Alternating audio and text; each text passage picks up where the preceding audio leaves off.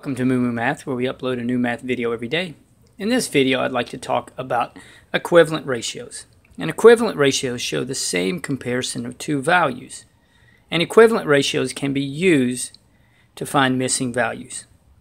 Let's look at the steps for finding missing values with equivalent ratios.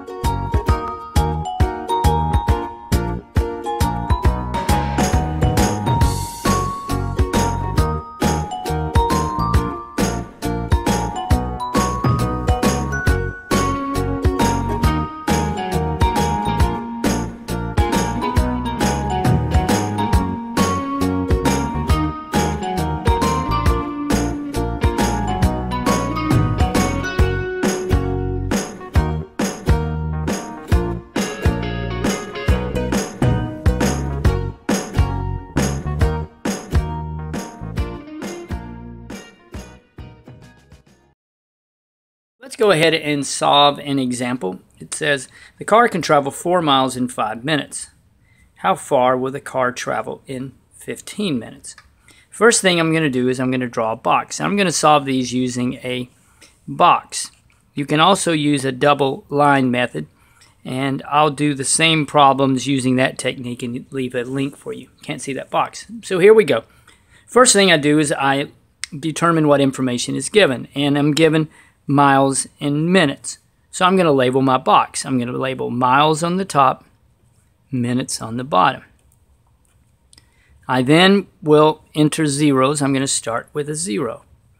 I then enter in the information I'm given. I'm given four miles in five minutes. And I'm also given that you travel 15 minutes.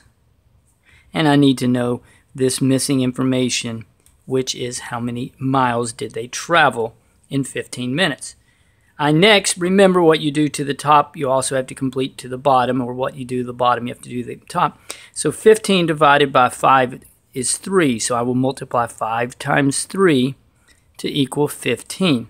So I need to do the same. 4 times 3 is equal to 12, and so you will travel 12 miles in 15 minutes. Okay?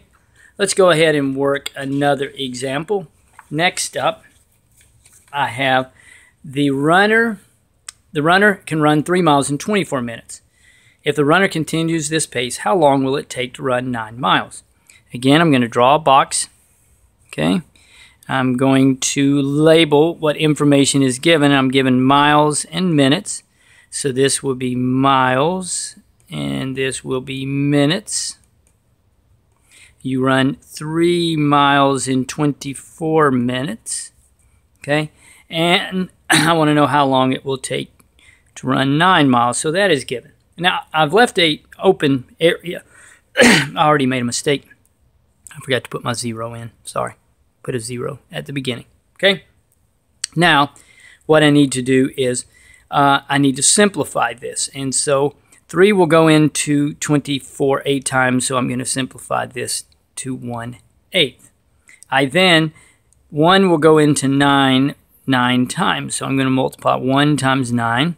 And what you do to the bottom, you must do to the top. And 8 times 9 is 72. And so it will take 72 minutes to run 9 miles. Sorry about this. I did forget to put the 0 at the very beginning. My fault. And let's work one. Okay, let's go ahead and work this last example.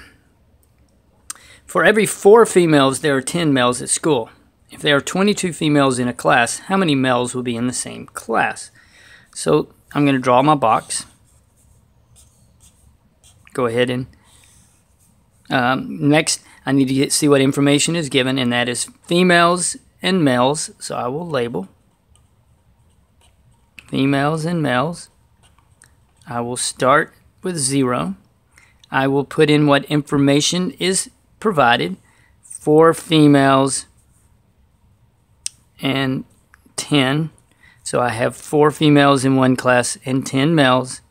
And I want to know how many females will be, if there's 22 females in a class, how many males will be in that. So I'm trying to find this value right here.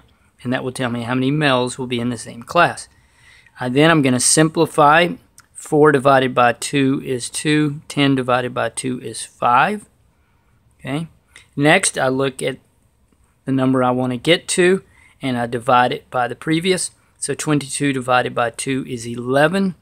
So 2 times 11 is 22. What you do to the top, you do to the bottom. 5 times 11 is 55. So if you have 22 females in a class, you're going to have 55 males. Hope this helps with equivalent ratios. Moo Moo Math uploads a new math video every day. Please subscribe and share.